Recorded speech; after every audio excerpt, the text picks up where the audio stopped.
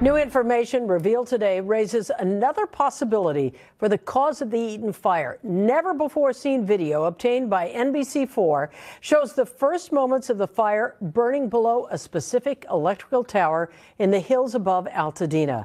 Our investigative reporter Eric Leonard joins us live right now with a story you'll see for the first time and only right here on 4. Eric. Well, this new video clip we're going to show you, it's very short, shows flames below the electrical towers where it's believed the Eaton fire started. It is similar to several other clips we've shared in recent weeks that have focused the investigation into the cause on those high voltage power lines that cross the foothills. What's new here is the perspective. This video shows the first flames were at the base of only one of the towers, which was supposed to be disconnected from power. Now, Southern California Edison has suggested it could very well be part of the explanation for how the Eaton fire ignited. A few seconds of video captured by a resident close to where the Eaton fire started on January 7th recorded flames below one of three electrical towers on a hillside. The metadata on the video clip shows it was recorded at 6:14 p.m. from the back of a home nearby. The person who recorded it does not want to be identified. What's significant is that the video clip shows the first flames were burning under the tower shown on the right. That's an old decommissioned Southern California California Edison Tower, meaning its lines never carry live electricity. The path of that deadline, called the Mesa Sylmar Circuit, is shown in green on this map, and the line ends right at the spot the Eaton fire started. In a new document filed by Southern California Edison with state regulators today, it says it's exploring the possibility that somehow that deadline was momentarily energized in the high winds on the night of the fire, writing, SCE is evaluating a number of potential causes, including whether the idle Mesa Sylmar transmission line could have become energized and the extent to which that line or its grounding could be related to the cause of the fire. One would not expect an unenergized line to um, come to life. Electrical engineer Ken Buskey, who's investigated more than 1,000 fires, says it's possible for deadlines to become electrified through a phenomenon called induction, which can happen when energized lines nearby get close to the deadline, like in high wind conditions. The induced uh, currents and voltages in the dead line can uh, cause arcing through a uh, bad connection. And so you can have uh, arcing that causes a fire if the grounding isn't proper, even though the line's dead. He says it's unlikely the induction alone would cause a spark, but if the connection to that third tower wasn't grounded properly, heat and sparks would be possible. Because it is the end of the line and that's where it's grounded. Uh, that's where the arcing and sparking takes place because there's a contact between the um, grounding and the uh, tower. Southern California Edison has said in court and in public that it has not found direct evidence that its live lines sparked the Eaton fire. But about two weeks ago, after some gas station security video emerged that showed sparks falling from the area of those towers, Edison said it was continuing to investigate the possibility some of its equipment played a role. The cause of the fire remains under investigation by LA County Fire Arson. I'm investigative reporter Eric Leonard, NBC4 News. So they acknowledge induction and they call it a phenomenon. And he skips over it in this reading. He says the lines could have become energized, and right there in brackets it says EG through induction, and he skips over that part for some reason. A number of potential causes, including whether the idle Mesa Sylmar transmission line could have become energized, and the extent to which that line. And then later on in the news broadcast, they talk about how induction could have happened, even though this is a dead power line, could have happened when the other power line gets too close, such as in high winds. So they want you to imagine that the that the power lines are whipping around in the wind, and the energized power line got too close over there to the dead one, and that's how the induction happened. And they also acknowledge this is the very last structure in in the sequence related to the cause of the fire. One would not expect an unenergized line to um, come to life. Electrical engineer Ken Buskey, who's investigated more than 1,000 fires, says it's possible for dead lines to become electrified through a phenomenon called induction.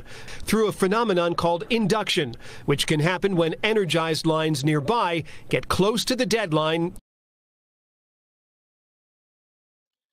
Those are high tension power lines. They're not whipping around in the wind. They're not going to move two inches even in a 100 mile an hour wind. Which can happen when energized lines nearby get close to the deadline, like in high wind conditions. The induced uh, currents and voltages in the dead line can uh, cause arcing through a uh, bad connection. And so you can have arcing that causes a fire if the grounding isn't proper, even though the line's dead. He says it's unlikely the induction he says it's unlikely the induction alone would cause a spark, but if the connection to that third tower wasn't grounded properly, heat and sparks would be possible. Because it is the end of the line and that's where it's grounded. Uh, that's where the arcing and sparking. It's because because it's the end of the line and that's where it's grounded, the energy, as I've spoken before about geomagnetic induction, isn't coming from the charged power line next to it. The uh, electricity is coming up through the ground, and people have asked me before about possible solutions. How do I keep my house from burning down in one of these fires? And I said, maybe disconnect your grounding wire which typically protects a house from lightning that comes from the sky and runs the electricity down into the ground. But if it's coming up through the ground, then that grounding wire might be where the electricity, the ground current, comes up into your house. So they're dropping clues here. I think they uh, know a lot more than they're letting on, but they're having to acknowledge some part of the induction is the way that this fire started. So I've had this theory that a fire that you start with a lighter can actually create a plasma fire, acting like your finger touching the globe, drawing all those smaller filaments of electricity toward the antenna. In these plasma fires, that antenna, like the finger on the globe there, on the plasma globe, is the house or the car or something made out of conductive material, metals. And electricity is drawn towards other electricity magnetically because everywhere there's an electrical field, there's a magnetic field offset by 90 degrees. Anywhere there's a magnetic field, there's an electrical field offset by 90 degrees and science has already pretty much agreed that flame, regular fire, is a weak plasma. So regular flame does have an electrical component to it. Thus, the fire on the surface where his fingers are touching the plasma globe has some electricity component to it which may draw the ground current electricity up from the ground. And I think I have video evidence of that actually happening that we'll look at here in a minute which means that you could start a fire with a match or a lighter in using conventional means and have it turn into a plasma fire that exhibits the burn patterns of electricity. And I think that's what we're seeing here on this channel. It's only got uh, 550 subscribers. I think most of his stuff is like homesteading, and he shows how he creates a brush fire to burn some of the the brush on his property and it results in what appears to be a plasma fire. Okay, well, let's see. It's Christmas. Got that big, huge fire going. 30 feet long. And I'll tell you, I waited for a day where it wasn't getting, like it was, it was hard to get that thing to burn, to start. I had to start a fire to get a fire going, but look at this. I've got little embers smoking up here on the hill about oh 40 feet downwind from it but look at this shit.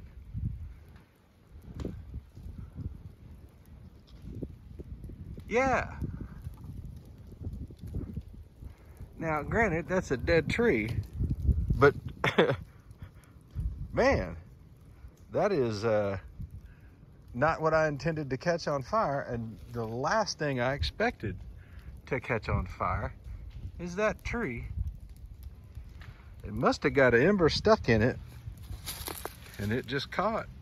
That thing, see, pretty much burnt down now. Let's see what else have I got burning around here. God, it's dropping stuff.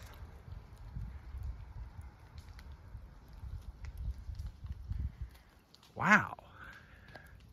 I guess it started up there. Well, uh, you know what? It must have started right there in that. Because the inside of this tree is burning. I'm going to let it burn. I guess I ought to walk around a little bit more. See if anything else is on fire.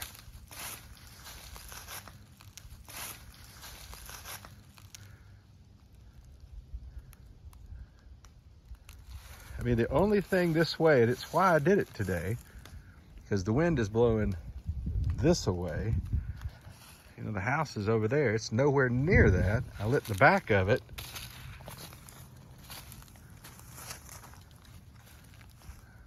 I don't guess anything else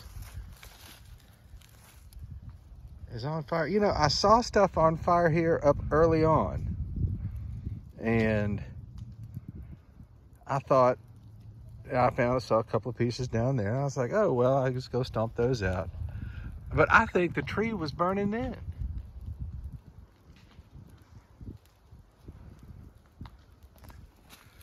Let's see if I can get not the sky behind that.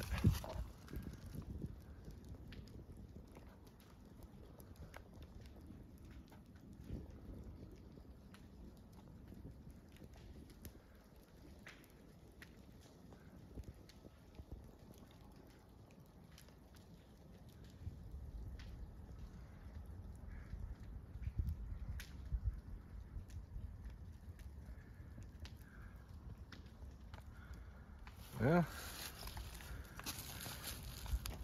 In all my years of firing, that's the first unintended thing I've ever caught on fire. Ever. And I've had some big fires, and this one was big. But man, the whole top of that thing's charred off.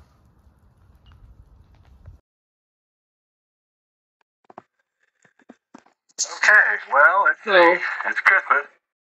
The only place he shows you that there's embers on the ground burning are directly below that tree, like they fell, because he shows you while he's filming the tree, there's a bunch of different little pieces of branches, burning branches that fall while he's filming it. That's a sign of plasma fire, and I'll, I'll show you why here in just a second.